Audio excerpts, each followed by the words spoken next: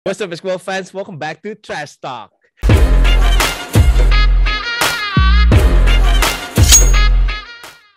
Balik dengan Gorky Padilla. Wah, hari ini akhirnya kita kedatangan se uh, seorang bintang tamu dan kolaborasi antara Trash Talk dan juga Just Talk terjadi juga. Malam Coach Justin, gimana kabarnya Coach? Malam Rocky, baik-baik. Thank you banget loh. Thank you banget udah meluangkan waktunya. Gue tahu, gue dengar-dengar katanya Coach Justin tuh nggak terlalu banyak mau terima collab loh. Bener kan Coach? Bener. Jadi ini suatu gue... kehormatan, suatu kehormatan banget yeah. sih Coach Justin mau diajak collab sama channel ini.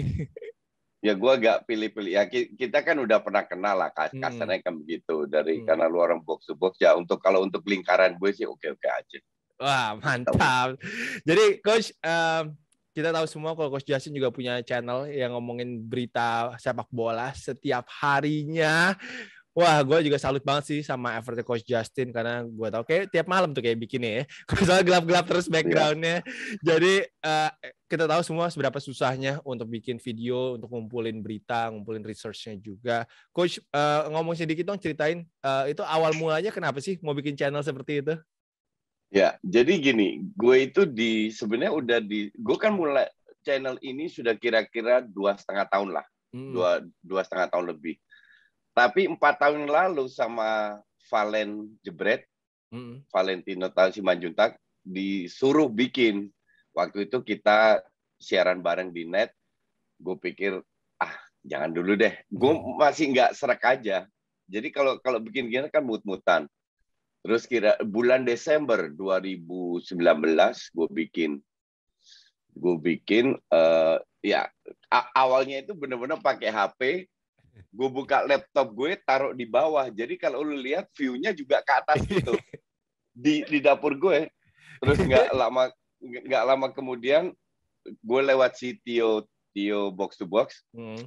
beli uh, tripod online gue masih ingat harganya seratus dua puluh lima ribu terus terus abis itu berapa, berapa lama kemudian beli mikrofon yang uh, clip on yang harganya lima puluh ribu Wow. Nah, da, da, dari situ dalam waktu setahun itu gue dapat nggak 14 bulan, gue dapat 100 ribu. Terus 100 ribu subscriber. Uh -huh. Terus dua, uh, 12 bulan kemudian dapat 100 lagi. Jadi gue sekarang ada di 255 ribu. Dan itu tiap bulan bertambah sekitar 6-7 ribuan lah. Ya lumayan lah. At, at least tiap bulan itu ada progres. Gue juga nggak nyangka jujur aja. Karena kalau lu lihat video gue ya apalagi di awal-awal kan nggak ada edit nggak ada lagu nggak ada apa nothing. Pokoknya gue rekam gue upload. Terserah lu mau lihat atau enggak bebas. Nah ternyata meningkat terus. Gitu iya luar biasa dan, sih gue sorry, sorry dan, silakan so, so, so, dan dan sekarang gue gue sebenarnya tetap nggak berubah cuman sekarang gue hire orang untuk kasih subtitle aja Ah, Dan okay. itu pun kalau ada, karena bikin subtitle kan butuh satu dua jam. Wah, uh. Kadang gue nggak ada inspirasi kan. Gue tunggu sampai uh, mendadak gue ada, oh ya gue mau bahas ini. Seandainya itu sore, jadi nggak sempet bikin subtitle, gue bikin, gue upload. Jadi maklum kalau sekali-sekali nggak ada subtitle, artinya gue mendadak mau bikin atau gue lagi sibuk kayak kayak kemarin kalau nggak salah. Siang gue uh, rekaman di di um, Kemang sama Helmi Yahya terus oh. gue taping di di di DPI jadi gue nggak ada waktu. Di sela-sela waktu gue bawa tripod gue gue bikin terus langsung upload. Kayak wow. kayak kayak gitu-gitu bisa terjadi lah. Wah dedikasinya tinggi sekali sih kalau sampai segitunya wah. Um, ka karena kadang ada ada berita yang gue pengen jelaskan gitu hmm. ka karena kalau berita itu masih fresh lu tunggu satu hari besoknya memang tetap ada yang nonton tapi udah nggak seru lagi Setuju banget. Uh, iya, gue kadang-kadang juga sempat bikin kayak video gue di airport gitu sih. Kok tiba-tiba emang ada berita yang yeah. lagi hot banget sih, emang kita harus yeah. bahas. Oh, kita ketinggalan nih coach sama misalnya yeah. karena kan banyak banget ya media-media di digital lainnya. Ya, ya, ya, ya. Dan enaknya di YouTube ini kan uh, ya contoh kayak gue, gue udah dua tahun, tiga tahun nggak nonton TV sama sekali. Sama. Bahkan HBO dan lain-lain itu gue nggak nonton juga. Dulu kan TV lokal gue nonton masih nonton HBO, hmm. uh, Fox Movie kayak gitu. Udah dua, dua tiga tahun, mungkin lebih kali. Gue udah nggak nonton lagi. Jadi gue lebih fokus ke YouTube dan memang um, banyak sekali info yang gue bisa dapat dari dari YouTube atau online daripada gue harus nonton TV atau apa. Bener gitu. banget sih. Gue ngikutin Coach Justin actually dari subscribersnya masih 32 ribu. Dan gue 32 ribu itu kira-kira tiga empat bulan ya itu 2020 kalau nggak salah ya. Iya, itu iya. gue lihat emang progresnya naiknya cepetnya cepet, cepet iya. banget. Kira-kira apa coach yang bikin viewersnya coach ini jatuh cinta sama coach Justin? Gini ya, gue sempat bertanya juga. Jadi ada beberapa temen gue yang juga sudah berpengalaman di TV atau sudah sudah di dunia pandit lah. Mereka tanya, karena mereka bikin video itu yang nonton cuma seribu dua ribu dan iya. begitu terus. Mereka tanya gue kenapa gue bisa begitu. Pertama gue nggak tahu jawabannya, tapi setelah gue pikir-pikir-pikir, ada beberapa faktor yang satu. Gue sudah dari 2007 di TV sebagai pandit. Hmm. Jadi sekarang berjalan 14 tahun. At least orang udah tahu lah yang liga dan gue udah aktif di di banyak TV. Kemarin gue hitung itu 9 TV. Wow. Dari situ. Terus gue lima tahun pelatih timnas futsal. Dari situ orang udah tahu. Dan yang sangat membantu menurut gue ya, itu gue aktif di Twitter. Oke okay, ya. Jadi betul. banyak sekali dan dan gue dengan follower gue itu benar-benar interaktif. Kalau bisa gue jawab, gue jawab. Kalau enggak, enggak. Karena waktu gue juga terbatas untuk uh, mantengin Twitter kan. Hmm. Cuman kalau gue bisa, selalu gue jawab. Nah, itulah mungkin yang tidak dilakukan oleh banyak orang. Orang pikir kira, oh Justin bikin handphone aja bisa eh, sepuluh ribu atau Betul. sekarang praktis seratus ribu terus yang nonton. Masa gue bikin nggak nggak bisa dan bener-bener mereka sepuluh ribu aja nggak nyampe yang nonton. Ngerti nggak? Hanya seribu dua ribu. Karena itu mereka pikir cuma bikin handphone, bikin video yang mungkin ditambah edit, ditambah musik yang lebih keren lah daripada video gue. Cuma mereka tidak pernah melakukan mempromosikan lah, mempromosikan videonya atau channelnya uh, seolah-olah bikin video langsung banyak yang nonton. No, that's not the point. The point is lu harus setelah gue pikir-pikir kayaknya karena gue juga aktif dengan followers gue dari situlah bertambah terus dan ke faktor lain mungkin karena gue selalu punya pendapat yang berbeda. Ada beberapa orang yang bertanya atau menuduh gue, hmm. gue sengaja bikin kontroversi biar gue pansos, bikin biar biar, biar gue naik. Nah, gue jelas kayak ini uh, partner gue Helmi aja juga juga bertanya gitu. Apakah gue sengaja bikin kontroversi biar yang nonton naik? Gue bilang kalau gue sengaja, Hmm. Artinya, gue harus memikirkan, oh gue jawab apa, jawab apa, jawab apa, ya kan? Betul. Itu gue nggak pernah lakukan karena ini semua spontan. Gak ada yang gue sengaja pengen lain dari yang lain. Ya, kebetulan aja memang gue punya apa sudut pandang yang yang, yang berbeda sehingga gue gue jawaban gue nggak usah mikir, gue udah udah tahu gitu jawabannya apa. Betul gitu. betul. Kira-kira itulah. Tapi emang engagement itu penting sih. Engagement itu dengan uh, viewers, dengan uh, yeah. followers itu sangat penting banget. Uh, gue pun juga gitu coach. Gue kalau ada komen di YouTube gue biasanya gue love, terus gue komen juga beberapa yeah. yang kalau memang gue sempet juga sih bales sih. Uh, sekarang pertanyaan adalah kan dulu kan tadi coach sudah ngebahas ya coach dulu lima tahun uh, jadi pelatih di uh, futsal timnas uh, pernah bawa yeah. uh, sempat menang perunggu juga ya kalau ya di Sea Games. Um, silver. Sil oh, silver. silver di AFF ya. Oh, AFF juga ya di AFF Silver ya. juga. Coach, enakan jadi pelatih atau enakan jadi pandit nih? Enggak, gini ya. Gue sekarang kan umur 54 tahun. Mm -hmm. Dalam arti gue sudah puluhan tahun bekerja, mengalami banyak job. Job yang paling berat itu ngelatih. Hmm. Orang nggak paham, orang hanya cuma ngelihat oh ya lu cuma latihan satu dua jam pertandingan terus selesai lu salah. The real pelatih itu jadi 24 jam. Mereka selalu berpikir tujuh hari seminggu. Mereka selalu berpikir gimana apa yang gue harus lakukan. Kenapa? Karena kualitas pemain gue bukan kualitas pemain top dunia. Okay. Ya kan? Kualitas pemain futsal Indonesia ya ranking 50 dunia. Iya.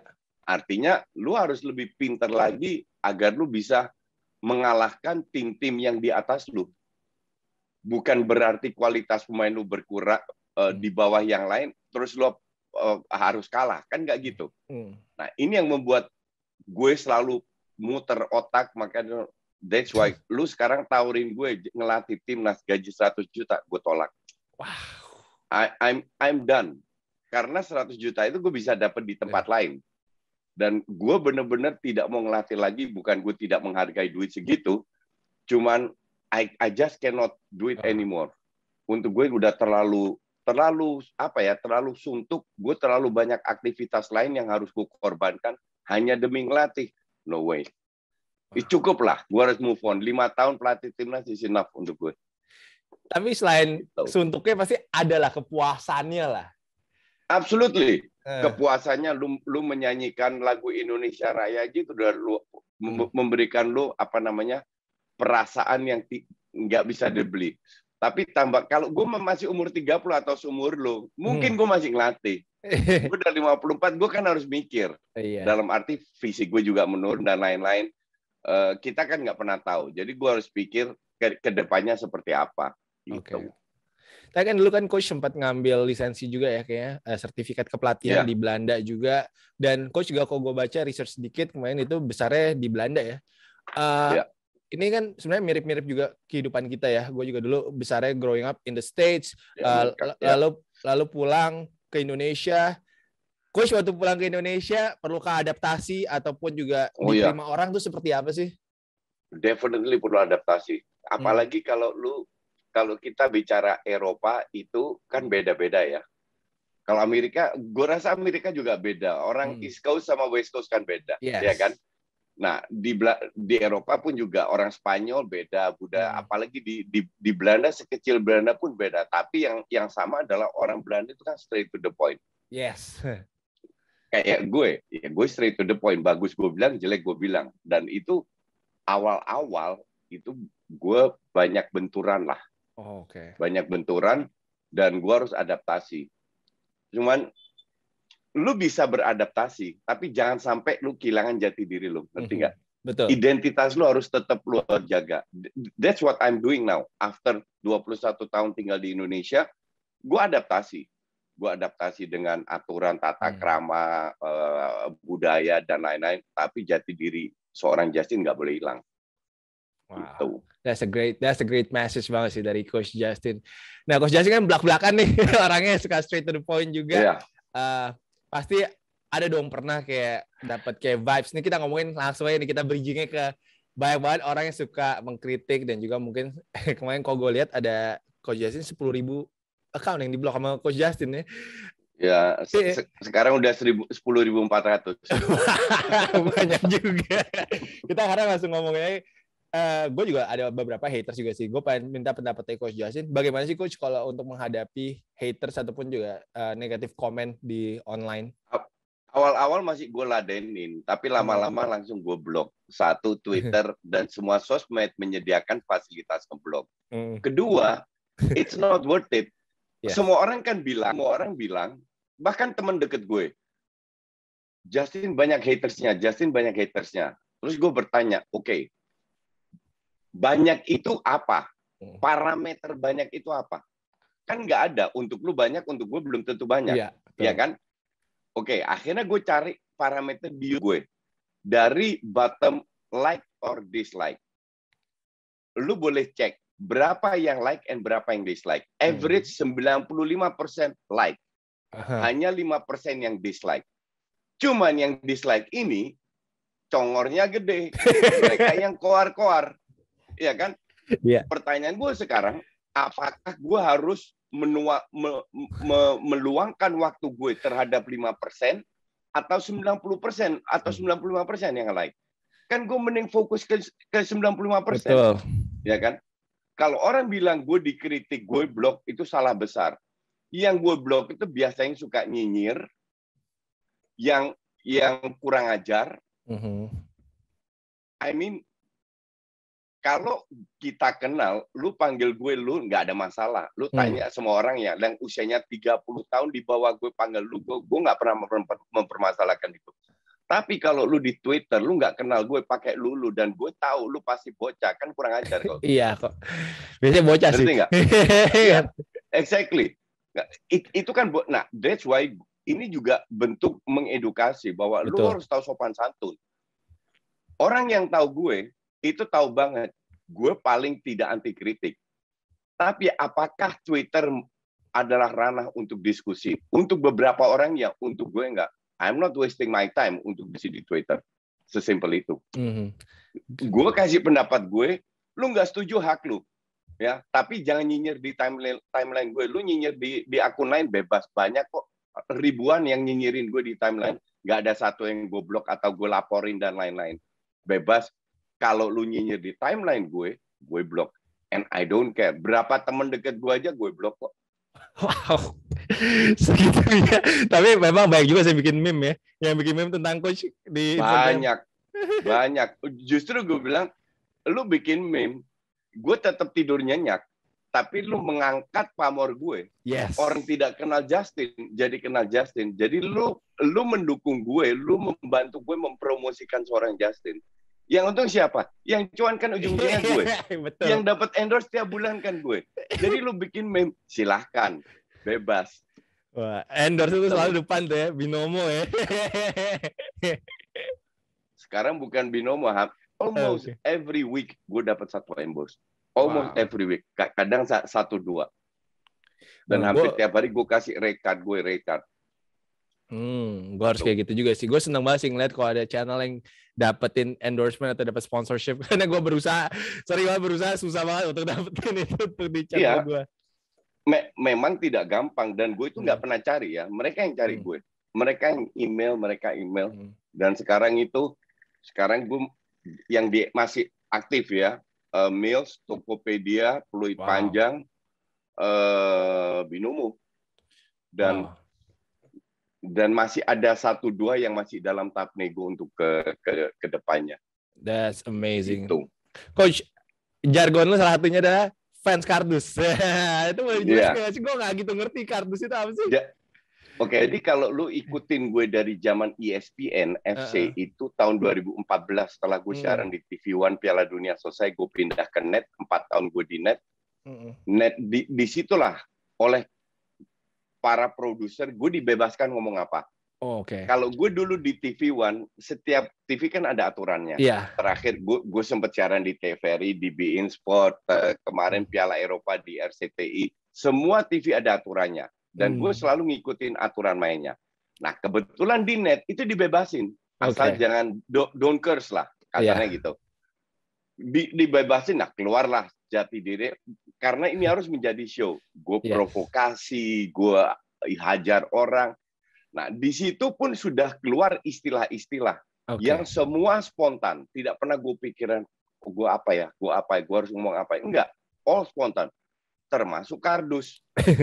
nah, yang membuat viral itu kan bukan gue. Yeah. Kan mereka. Uh, betul. Kan para netizen. Mereka yang ngelihat. mereka yang membuat jadi rame sampai semua orang tahu kardus Padahal dari gue itu spontan, kardus lah, tampang bengkoang lah, apalah, oh, kayak kayak kayak gitu-gitu. Yeah. Itu semua spontan, nggak okay. ada dipikirkan atau apa. gitu. Jadi orang yang termasuk fans kardus itu kayak apa, coach? Fans kardus gini ya, sepak bola ya hmm. mungkin nggak jauh beda sama basket lah. Iya. Semua orang itu mau menang.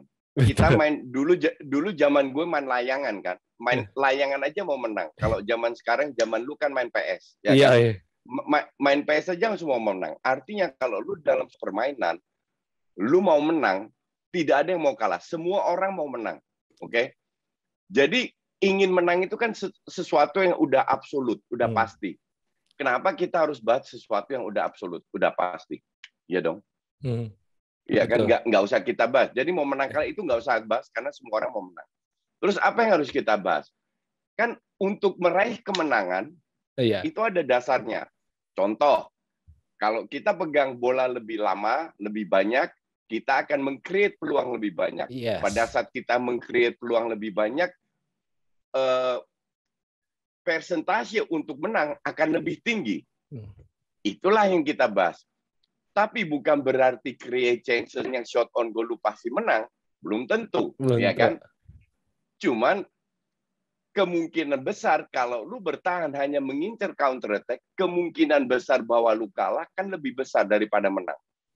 Ya kan? Ya. Nah, di situlah, di situlah gue bahas bagaimana sebuah tim bermain, bagaimana mengcreate peluang. kita lihat kapasitas pemain seperti apa. Dengan kapasitas pemain seperti apa, apakah mereka bisa bermain dengan cara yang lain, dengan sistem yang lain. Itu yang gue bahas. Bukan masalah menang kalah.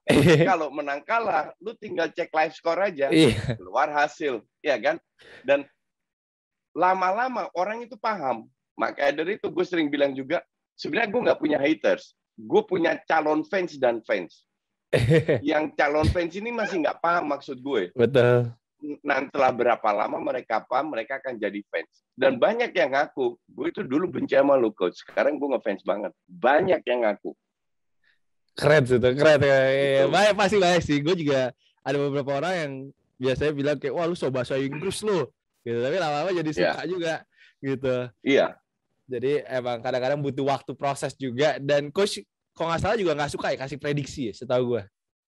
Enggak, karena hmm. prediksi itu kan kerjaan paranormal. Gue bukan paranormal. Dan dan kita tahu apalagi di di Liga Inggris setiap match itu tergantung form of the day, tergantung form of the team, tergantung form of the player. Basket nggak jauh beda. Emang namanya Michael Jordan main bagus terus? Kan enggak. Kan ada jeleknya, ada kalahnya juga. Yeah. Walaupun at the end of the day dia meraih banyak trofi dan lain-lainnya.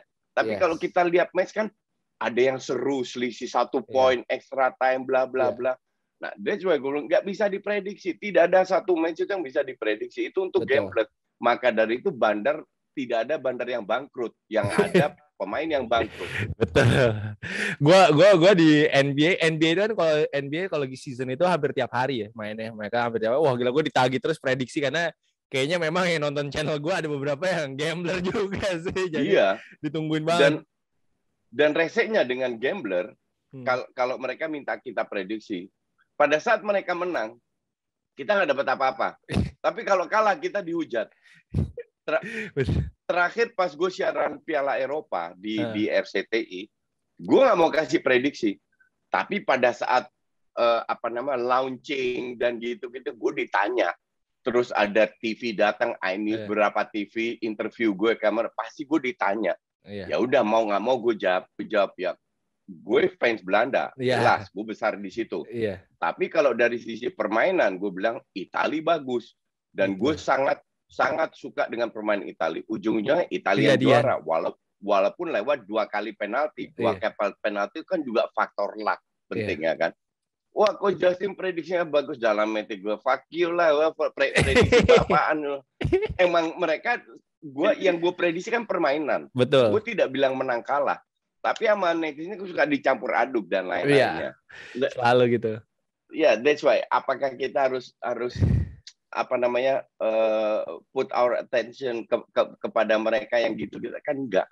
Terserah lu mau mengapa. Iya gue tahu kok gue tahu kekurangan gue gue tahu kelebihan gue gue tahu apa yang gue omongkan bahwa gue pernah salah ya pasti ada kita juga kita iya, manusia semua ya kan Betul. cuman I just give my opinion sesimpel itu dari just talk 1 sampai just talk 580 itu kan itu kan cuman I just give my opinion lu nggak setuju nggak ada masalah iya. nggak nggak ada yang protes gue gue tidak akan protes kalau lu nggak setuju cuman jangan minta gue ajak lu diskusi itu rananya bukan di situ untuk gue.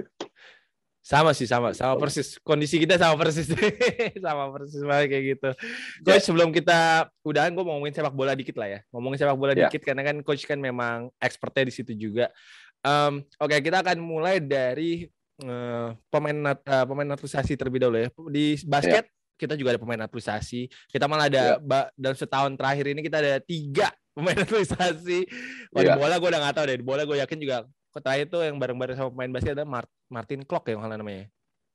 Uh, Marek Clock. Marek Clock ya, Marek Clock. Oke, okay, itu bareng juga sama pemain-pemain basket di naturalisasi. Nah, coach, kalau coach sendiri pandangannya tentang Indonesia menaturalisasi pemain untuk bisa naikin prestasinya mereka di kancah internasional, menurut coach sendiri gimana? Gini ya, hmm. um, satu hal naturalisasi itu hmm. adalah diperbolehkan oleh FIFA. Betul. Jadi tergantung negara masing-masing. Oke. Okay? Filipina melakukan itu dan terbukti derajatnya terangkat. Mm-hmm. Singapura melakukan itu.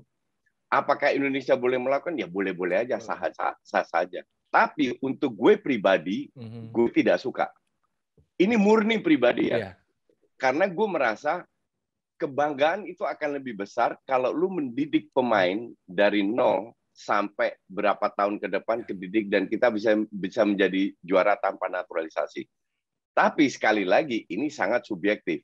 Yes. Ini pendapat pribadi dan gue juga tidak anti naturalisasi sama sekali tidak karena gue merasa pemain kayak kayak uh, Stefano Lillipali dan hmm. lain-lain hmm. bahkan Greg Polo mereka berhak untuk untuk menjadi warga negara negara Indonesia. Kalau hmm. Stefano kan karena uh, bokapnya Ambon, terus uh, Greg kan karena dia sudah lima tahun lebih tinggal di Indonesia. Mark Klok kan juga gitu, sudah lima tahun jadi punya hak dan sama sekali tidak ada masalah dengan hmm. dengan itu.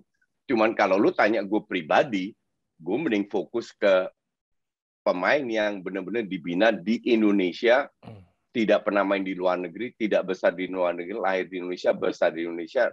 Untuk gue itu kebanggaannya beda aja. Betul banget sih, sama juga sih, sama sama gue juga begitu. Uh, dan kadang pemain muda kan kalau di channel gue juga fokusnya, biasanya gue juga suka bikin highlights gitu. Itu gue biasanya suka ngeliput pemain-pemain basket muda yang berpotensi di Indonesia. Okay. Nah, sepak bola banyak banget lah berjibun yang sangat berpotensi. Yeah. Kita lihat sekarang ada beberapa yang sudah malah main yeah. di Eropa ya, kayak Egi, lalu juga ada Bagus Kavi yeah. main di Eropa. Kalau menurut coach, coach lebih suka melihat mereka berkembang di sana atau mendingan uh, fokus bersama uh, tim nasional di lokal di sini atau gimana? uh, berkembang di sana. Karena uh, pemain lokal yang di sana kalau seandainya mereka tidak berhasil menjadi pemain bola profesional yang top nggak ada iya. masalah. Minimal mereka mendapatkan hal yang baru. Minimal tahu budaya lain budaya Eropa pemikirannya lebih terbuka mungkin mereka ambil kursus ini itu lebih tereducated jadi banyak sekali yang bisa diambil pada saat mereka berada di di luar negeri dan tidak banyak pemain yang diberikan diberikan kesempatan untuk bisa menimba ilmu di luar negeri. Pada saat pemain itu diberikan, mereka harus manfaatkan kayak bagus yang lu bilang yeah. kebetulan di Utrecht kota gue, terus oh, iya. uh, Egi di di di Poland dan dan lain-lain. It, itu gue dukung semua. Nah, ilmu-ilmu kan bisa dibawa kembali ke sini, entah berhasil atau tidak itu nomor sembilan. Tapi kalau seandainya kayak Garuda Select lah yang yeah. bikin U, U berapa di di Inggris itu luar biasa untuk gue itu entah berhasil atau tidak entah mereka jadi top atau tidak nggak ada masalah minimal 20 30 pemain yang pernah di Inggris sudah di, di, diberikan oleh ilmu-ilmu oh, oleh banyak hal yang nggak bisa dibeli dengan duit gitu uh, dan dan itu untuk perkembangan mereka sendiri masing-masing itu penting sekali Ke, kebetulan gue 20 tahun tinggal di Eropa lu sering la, lama di Amerika jadi kita tahu bedanya apa Betul. maka dari itu uh, buat semua orang Indonesia kalau mereka dapat kesempatan untuk ke luar negeri di mana pun itu negaranya hmm. silahkan pergi diambil biar kalian pemikiran itu lebih terbuka gitu. Itu, itu banget sih. Gue juga sekarang ini coba untuk educate orang untuk lebih open minded sih. Jangan terlalu tertutup yeah. banget sih pemikirannya dan terlalu yeah, betul. Eh, katro banget lah. Iya, iya, iya betul. Dan gue gue jujur ya, gue itu ke Amerika baru pertama kali 2018. Oke, okay. gue lihat foto ke New York tuh. ya, Ken kenapa? Karena waktu gue di Belanda, kita menganggap Amerika itu bukan sesuatu yang hebat kita menganggap Amerika itu kultur barbar, barbar. Kalian hmm. tuh nggak punya budaya. Hmm. Budaya itu di Eropa, ya kan? Tapi gue dan istri gue ber, ber, berpikir salah satu yang membuat gue termotivasi ke Amerika atau apa? Apa tuh coach? Orang Amerika ini ada hebatnya. Mereka itu bawa burger keliling dunia, mereka bawa pizza keliling dunia, mereka bawa ayam goreng keliling dunia, mereka bawa donat keliling dunia. Apakah produk mereka yang enak kan enggak? Emang enggak ada ayam lebih enak daripada Kentucky? Atau kopi lebih enak daripada Starbucks? Atau burger lebih enak da da daripada McD kan banyak yang lebih enak. Cuman kenapa mereka bisa sukses? Itulah yang kita harus pelajari ya kan? 2018, 2019, 2020 every year go ke Amerika. Bahkan tahun ini 7 tanggal 7 Oktober gue gue udah beli tiket gue akan ke ke Amerika lagi sebulan. Gue selalu per, per, pergian sebulan. Gue pengen belajar juga. Tapi yang untuk gue menarik satu hal yang dimiliki orang Amerika tidak dimiliki oleh orang Eropa. Apa tuh coach? Tahu? Bahkan gue yakin tidak dimiliki satu orang di seluruh dunia. Hanya orang Amerika yang punya itu. Penasaran gue. Yang membuat mereka sukses. Kalau menurut gue ya, itu mereka percaya diri luar biasa tinggi. Iya, luar biasa. Asli. gue belum pernah lihat, gue udah keliling dunia, uh, uh, Rocky, di mana-mana di Asia sampai gue pernah ke Teheran, orang nggak pernah pergi, gue ke Iran, oh, iya. di Eropa, di Amerika, gue lihat orang Amerika ini luar biasa yaitu percaya dirinya. Mereka pede banget, mereka semua mereka berani ngomong, berani ajak diskusi dan lain. Nggak ada lihat lu tua, muda, ya. hitam, putih, apa semua sama.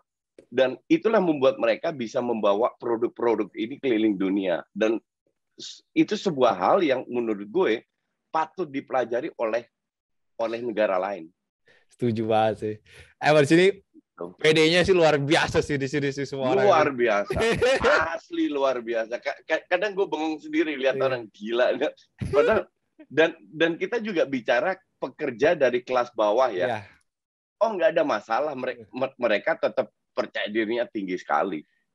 Which is good. Gue bilang itu itu sebuah karakter yang sangat bagus karena tidak dimiliki oleh oleh orang orang lain mungkin lebih pinter mungkin yeah. lebih hebat lebih kayak percaya diri mereka sering kali menjadi masalah. Bahkan di Eropa loh. Benar, benar. Benar banget sih.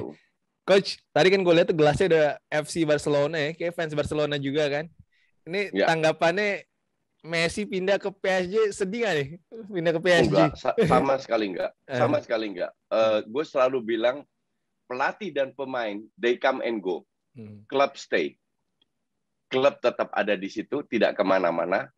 Dan Messi sehebat dan gue bersyukur bahwa gue penggemar, penggemar sepak bola bisa menikmati Messi dari hmm. usia muda hmm. sampai dia nanti pensiun.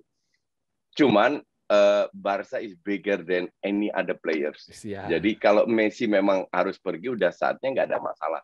Sama sekali gue tidak sedia atau dalam karena we have to move on. Sekarang kita masuk era tan, tan, tanpa Messi dan gue sangat optimis karena bukan karena Kuman kebetulan orang Belanda, tapi dia sudah membuktikan mereka bisa bermain uh, cukup atraktif kok. Memang pasti kehilangan Messi, kehilangan banyak uh, goals. Cuman sekarang serangannya lebih tidak bisa diprediksi daripada dengan Messi. Gitu. Ada Lord Bradwood lah. Gak jelas. Coach, ada baik, sorry. Hmm It, itu Bradway itu kalau main di Fulham gue rasa di, dicadangin itu. Bisa main. Kayak aja. Aduh, coach terus baik banget nanya kemarin kan gue buka question box di Instagram. Kenapa sih coach Jas itu ngefans sama Arsenal? Gue itu ngefans Barca. Gini, ada tiga klub yang gue suka. Oke. Okay. Oke. Okay? Kalau lu tanya ke gue, pilih satu klub di mana hanya satu, di mana yang benar-benar ada di jago. Gue mikir panjang. Gue langsung jawab, FC Utrecht. Oh iya, itu jelas. Kenapa FC Utrecht? Karena gue besar di situ yeah. dari umur 12, temen gue banyak di situ, gue ke stadion, gue away, kita build emotional uh, oh, iya. relationship, yeah. ya kan? Hmm. Pertama kali gue ke Barcelona tahun 86. Di situ gue suka karena Barcelona punya sejarah dengan Belanda kuat sekali. Sepak bola Belanda dari Rinus Michels, Johan Cruyff, Van Gaal, bla bla dari 86 pertama kali gue udah suka gue suka kotanya dan gue suka klubnya di situ berkembang sampai gue salah satu founder dari Indo Barca gue hmm. enam kali sudah ke Barcelona lihat gue punya berapa teman di situ itulah nah kalau Arsenal gue belum pernah nonton Arsenal pernah tapi di Singapura Oke. Okay. Uh, three, three, hmm. three years ago kalau nggak yeah. salah mereka datang gue ke Singapura gue gue nonton sama, sama di GBK gue nonton juga. Ini pernah ke GBK uh, ya? Wow. Iya, per pernah. Tapi gue gue pernah ke Inggris sekali, tapi gue nggak nggak nggak sempet nonton mereka. Gue itu suka Arsenal tahun 90-an. 90-an zamannya George Graham, zamannya Ian Wright. Oh, Dari situ gue lihat Arsenal ini mainnya beda dengan klub-klub lain. Kalau gue trophy hunter, kenapa gue nggak incer Liverpool dan dan MU? Kan trofinya lebih banyak, hmm. ya kan? Karena I don't care dengan gituan. I don't care lu mau trofi berapa. Untuk gue sepak bola adalah pertama lu harus di entertain. Gue pengen tiap minggu di entertain. kalau bisa menang karena semua mau menang. Hmm. Tapi kalau seandainya kalah, mereka main bagus, oke okay lah kita bisa terima, ya kan? Kalau lu main bagus lu kalah, minimal next time-nya lu bisa menang karena you play well. Mm-hmm. Yang bikin gue gede kan udah mainnya hancur, kalah pula, pemain gak jelas. yeah. nah, it, it, itu yang bikin gue gede, ngerti gak? Jadi bukan masalah ranking, bukan masalah trofi. Gitu, Rocky. Jadi penting mainnya, yang penting entertain lah ya, entertain juga mainnya bagus lah itu yang paling penting. Loh, pemain basket apakah mereka bukan artis? Artis juga kan? Oh sekarang semua, ya sekarang semua dibikin entertainment semua sih. Iya kan, semua hmm. entertainment, basket, entertainment, sepak bola, entertainment. Zaman gue nonton bola tahun 80-an, Rocky, itu rata-rata penonton bola kan kerja dari Senin sampai hari Jumat. Mereka hari Sabtu atau Minggu dengan keluarganya pengen dihibur kan. Ah iya betul. Mereka stres kan, mereka yeah. udah capek kerja lima hari. Betul. Bahkan dulu kan gue masih kecil, gue nggak kerja, tapi gue sekolah kan. Iya. Sekolah capek, terus hari Sabtu gue main bola, gue ikut SSB kan. Nah hari Minggu gue nonton FC Utrecht. Nah at least lu pengen dihibur dong, betul. biar nenya asik. Nah dan Utrecht tahu sendiri nggak pernah juara, selalu di papan tengah. Hmm. Tapi tapi kalau mereka main bagus, lawan contoh Ajax dan memang harus kalah karena murni kalah kualitas. Yeah. We can accept that. Uh-huh. At least at least you fight yes. di lapangan dulu. Nah, mental ini yang gue bawa. Mental ini yang gue bawa ke timnas pada saat gue ngelatih ke ke mana-mana, ke tempat kerja gue. Lu ketemu siapa aja, nggak usah kalah. Sekarang kalau gue ketemu Tyson di jalan, gue coba dirampok, masa gue nyerah? Minimal gue pukul dulu. Iya. ujung ujung-ujungnya gue kalah tapi at least gue fight dulu sampai gue dihajar habis-habisan ya kan nah ini kan sebuah mental yeah. mental yang gue tidak lihat banyak di Indonesia terutama di futsal ya yes ngerti nggak ini no. yang gue coba merubah bukan masa menang kalah once lu get that winner mentality lu lawan siapa pun nggak usah takut I love it. Lu di jam futsal, Zaman futsal kan gue sering ketemu. Gue pernah ketemu Argentina nomor dua di di dunia. Gue wow. ketemu Iran nomor empat di di dunia.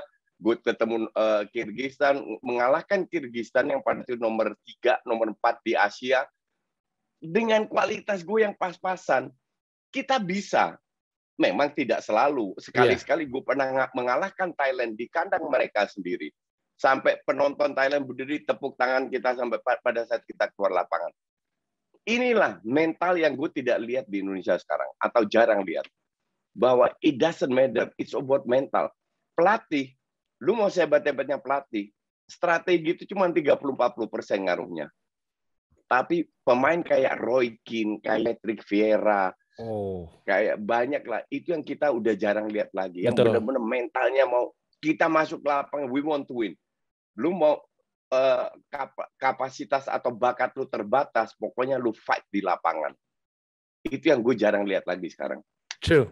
That's true though. I love it though. That ya gue juga pengen banget sih menularkan mentality seperti itu juga kepada anak-anak basket muda di Indonesia sih. I think that's yeah. a great mentality to have banget sih.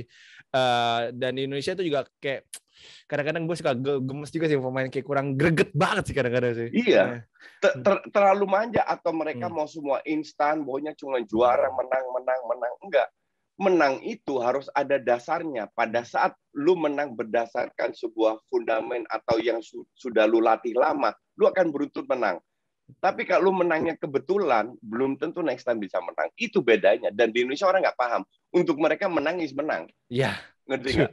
Kalau kita melihat dasarnya menang, apa di sepak bola? Lu cetak gol bisa gol kebetulan, gol bunuh diri, atau dari sebuah set play. Mm-hmm. Kalau set play gol itu bisa terulang-ulang lagi. Betul. Tapi kalau lu ke kebetulan kena tangan di flag kena tiang kan nggak bisa lu ulang lagi. Iya, betul banget. Itu. Iya, true. Coach, kalau di basket ada Michael Jordan. Kalau di sepak bola untuk coach siapa nih Michael Jordan nih? Johan Cruyff. Oke, Johan Cruyff. Johan Cruyff. Johan Cruyff itu perannya tidak di lapangan, tidak hanya pada saat dia aktif, tapi juga di luar lapangan. Hmm. Itu Barca tidak akan jadi Barca sekarang tanpa Johan Cruyff. Ya, Johan Cruyff yang menciptakan La Masia. Johan Cruyff yang bilang dulu, kalau kita mau sukses, itu harus mulai dari usia dini. Dibentuklah filosofinya dan lain-lain. Jadi siapa pun pelatihnya, mereka harus ikutin. Kecuali ada masanya Rosel masuk Bartomeu itu sempat hilang filosofinya. Hmm. Dengan Laporta masuk itu kembali lagi. Filosofi itu penting. Sama kayak Arsenal sekarang. Mereka punya filosofi. MU filosofinya apa? Wah, ada.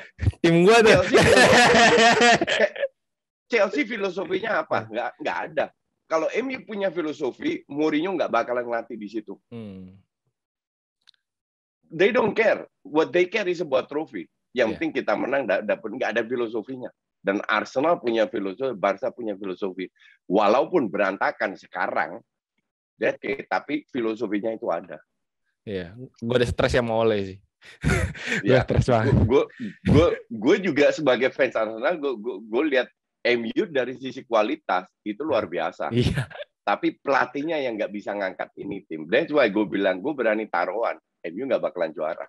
Bukan karena pemainnya, tapi karena pelatihnya. Setuju, setuju banget sih, setuju banget. Dan terakhir coach, terakhir banget, hmm. uh, coach kalau mau lihat sepak bola, main lihat sepak bola Indonesia lima tahun lagi tuh gimana?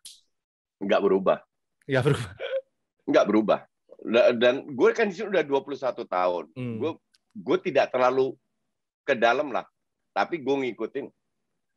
Setelah after 20 years, 21 years, gue melihat se sebuah pattern bahwa there is too many things yang yang dijalankan yang tidak benar lah, yang salah.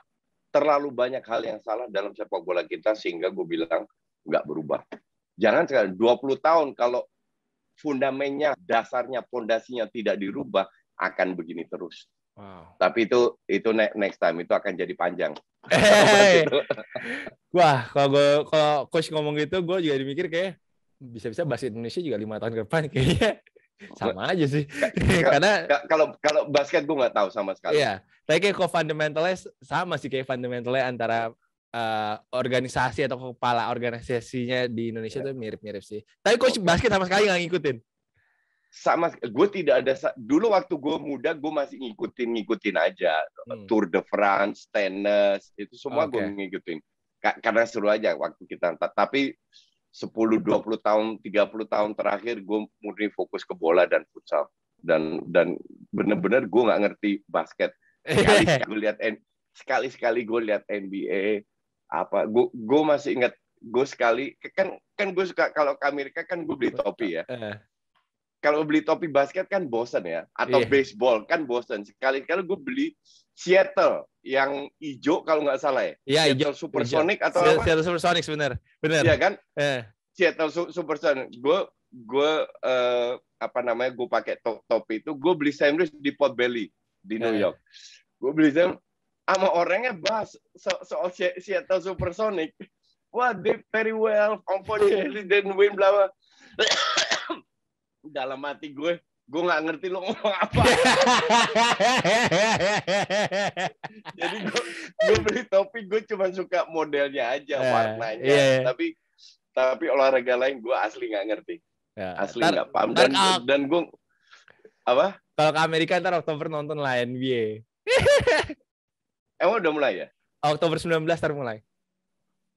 Oke oke ya uh. lihatlah. Gue gue lebih suka nonton yang lain. Gue lebih suka nonton opera, uh, play, uh. Uh, konser. Lagi banyak konser di Vegas. Gue nonton Gwen Stefani, Sting dan lain-lain. Oh. Da daripada olahraga.